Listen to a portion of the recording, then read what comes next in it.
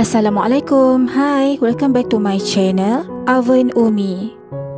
Okey, hari ni Umi nak kongsi resepi kek yang sangat sedap dan moist iaitu kek red velvet.